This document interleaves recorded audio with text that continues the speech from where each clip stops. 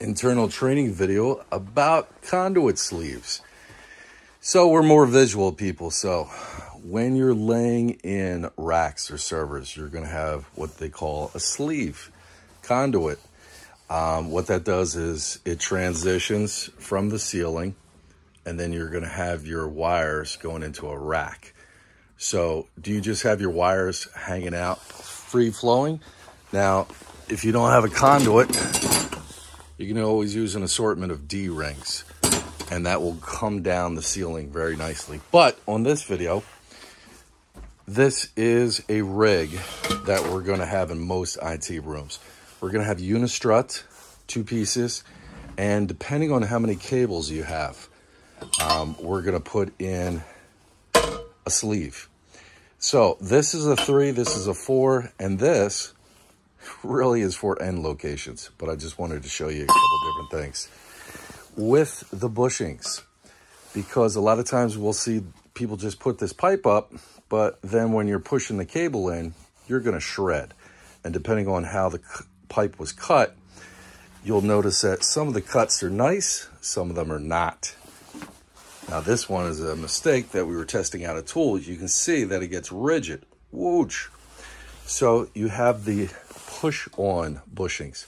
This is for a four, this is a three inch pipe. This is for the four. So also at any local hardware store, they'll try to give you these and these actually are screw-ins. So you'll need another attachment to go on there. So typically we just go with the Arlington. There's an assortment, four, threes, and all that good stuff. You're gonna use an assortment of straps. A lot of times we'll see out there on the field, one person will just put one unistrut out there.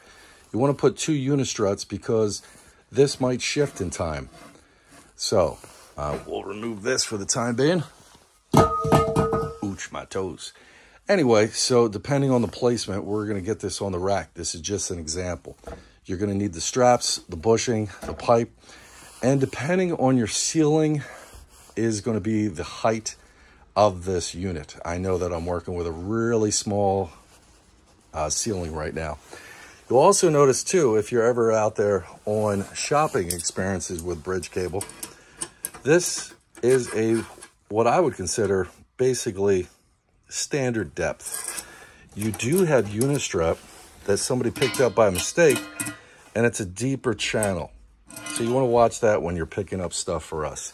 So straps, bushings, this. Real quick, want to show you there's many ways to cut. This is my old school Sawzall, and I love it. It's actually corded. Um, you want to use metal blades. And just for people that aren't familiar with that, this is, the, most of the time they're going to tell you what's on this actual blade, what it's used for. This one is wood with nails. So you can see the teeth are a little bit different.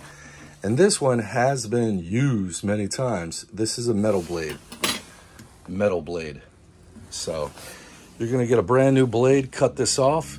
There's bandsaws, I won't go into that. And there's the old school hacksaw. Ooh, that's gonna take a lot of elbow room or elbow grease. So this is an overview. Saws Sawzall cutting pipe, laying it out, and then we'll show in a return video uh, or another video of an actual completed one.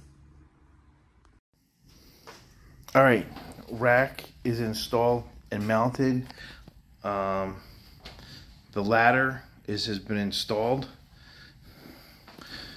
The piping, the conduit coming down is installed.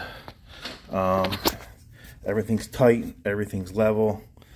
Um, we have enough to come down and swoop into the rack and come into our wire management on top. So, um, all done.